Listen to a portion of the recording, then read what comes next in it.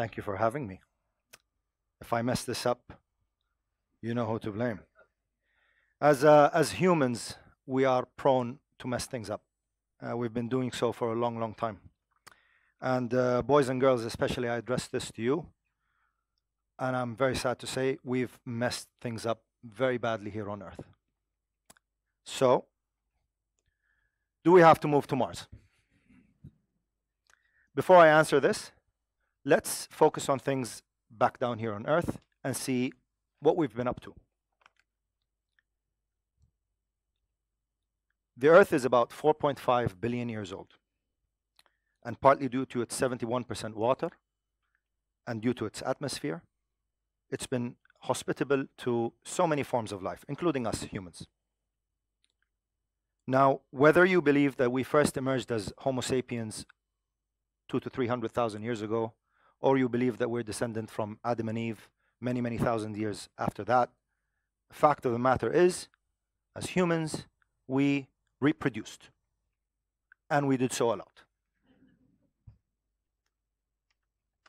Um, it took us 200,000 years to get to 1 billion people in 1804.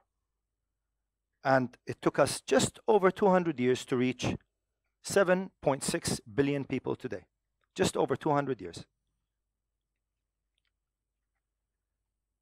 7.6 billion people live on Earth today, and about 100 billion people have died before us. I was born here in Dubai in 1976. I checked today the population of Earth back then in 1976. It was 4.1 billion. We've had an 83% increase in population just in the time that I'm alive. And to put things in perspective of what this all meant, this is a chart that some people have come up with to show all forms of life on Earth. It's measured in gigatons of carbon. So it includes plants, it includes bacteria, fungi, animals, you name it. This is where we are, humans. In that small triangle over there in the corner, if you expand it, humans form just above 0.01% of all life on Earth. 0.01% of all life on Earth. But due to our ability to communicate, due to our ability to cooperate, our ability, our resourcefulness, our ambition, we have been able to spread and conquer all other forms of life on this earth. So the 0.01% have conquered this globe. We've also concocted over many years this chain, known, the, known as the linear materials economy. If I take you through it, it basically meant that we've extracted stuff from the earth, we've cut down trees to make things that we thought we needed. We use those things to make other things that we thought other people needed.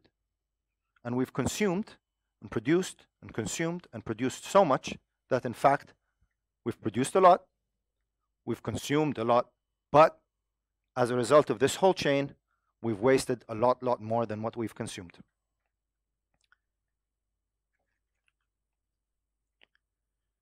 To expand this chain, we've used energy. And this energy brought from that biomass that was buried millions and millions of years ago made this whole chain possible and made the industrial revolution possible and made so much more production possible and so much more waste possible. The result, we start with waste. 2 billion tons of municipal solid waste. Municipal solid waste is basically garbage. 2 billion tons annually is wasted. That's the equivalent of one, approximately 1 million cars. One third of all food produced is thrown away or is spoiled or is wasted in some way. One third of all food. In the US alone, 90% of all material extracted to make things or use things goes to waste. 90%. And only about 20% generally, globally, is recycled or composted. Where does the rest go? So, first things, it goes here to landfills, these beautiful things that we have around major cities around the world. Some of it goes to incineration. We burn it for using energy. Uh, we say in Arabic, nus musiba. So it's half a problem. And the rest, you've all seen these.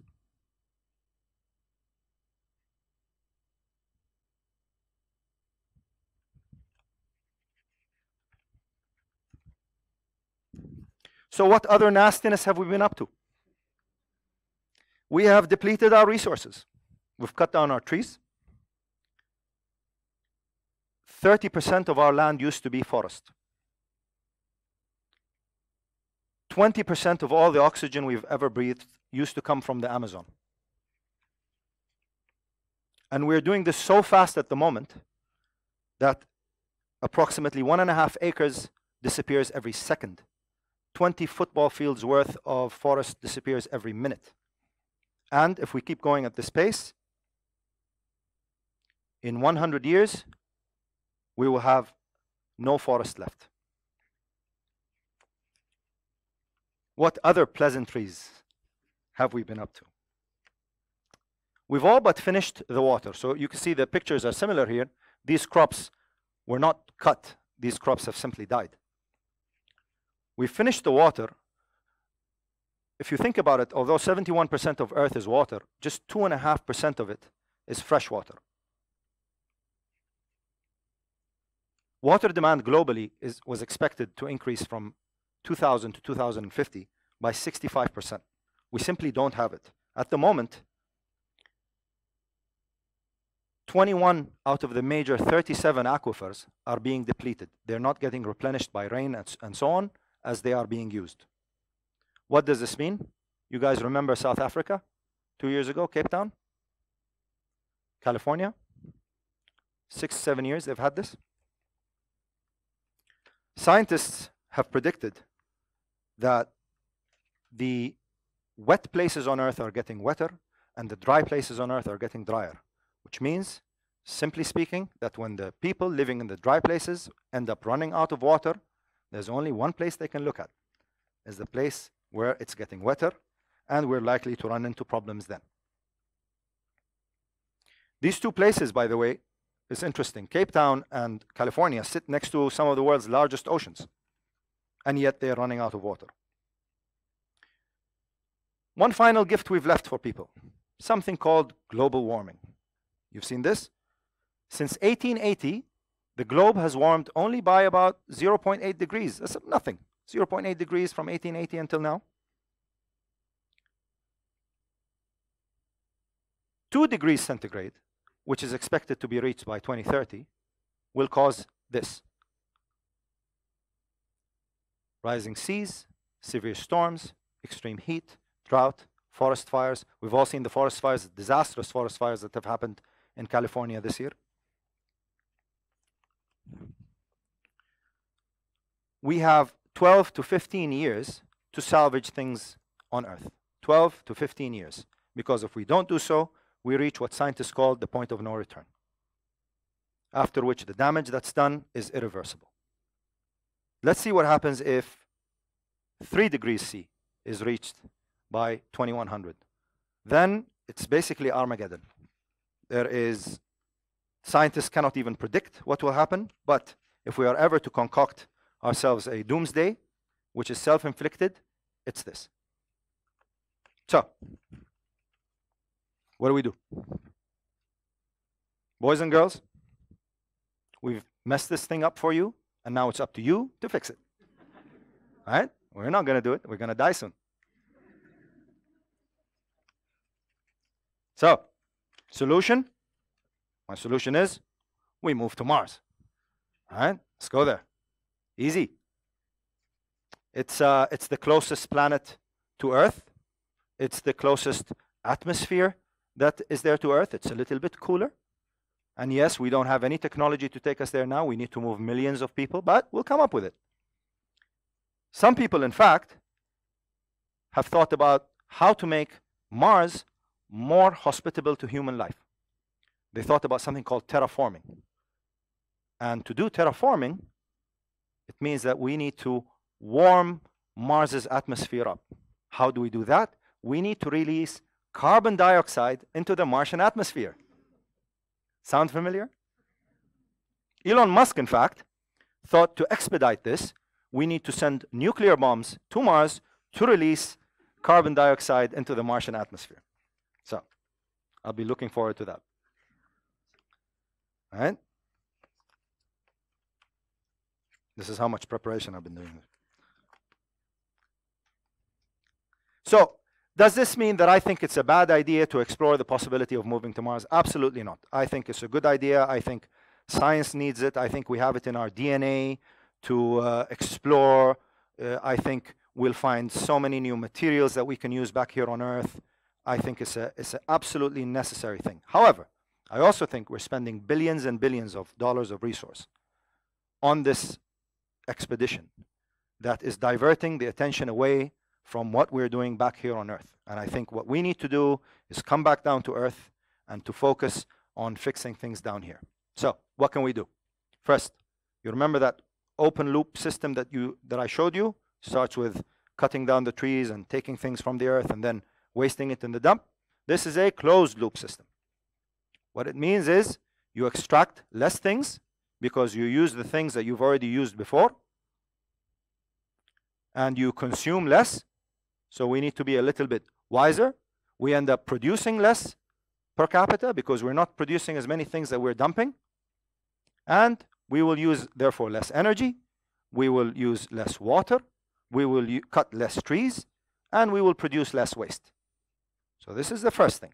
So we have to be a little bit careful about what we consume, whether it's plastic bags or, Mimi is very fond of, straws, using less straws. All those things really, really matter. Next thing, the food we eat. This is uh, an example of, uh, in fact, one of the things being developed by Emirates Airlines here is uh, vertical farming.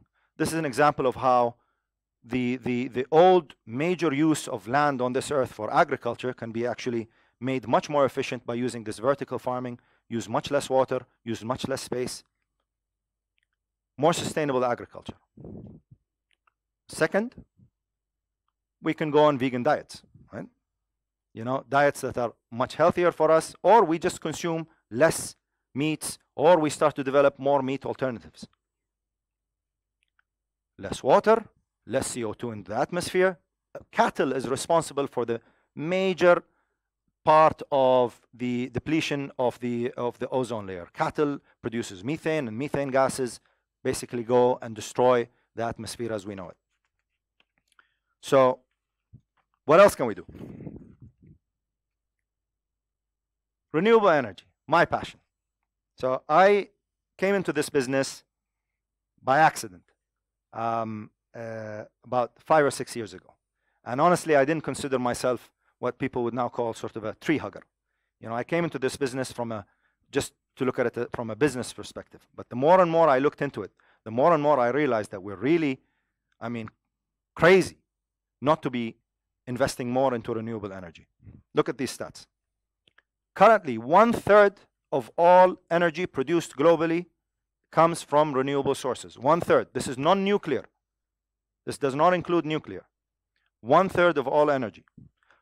Iceland, for example, one of the leading countries in this space, 100% of its energy comes from nuclear sources. It is possible to do. The US, one of the leading countries, one of the leading developed uh, economies, produces only 18%. So we see there, there's a slight imbalance. If we consider the sun alone, that's the business I am in, the solar business, as Abdullah mentioned. 430 quintillion joules, joule hours, sorry, that's 18 zeros, hits the Earth's surface every hour. And humans consume 410 quintillion joules in a year. So we've got multiple thousands more energy hitting the Earth's surface every hour than we consume in the whole year. This is solar energy alone.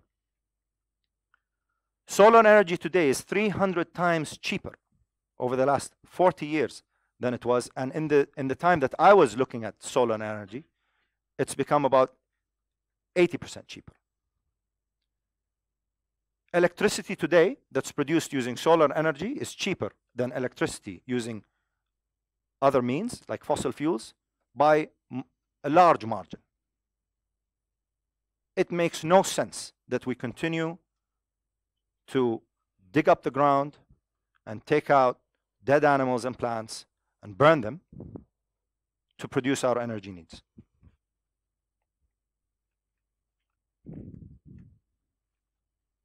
So,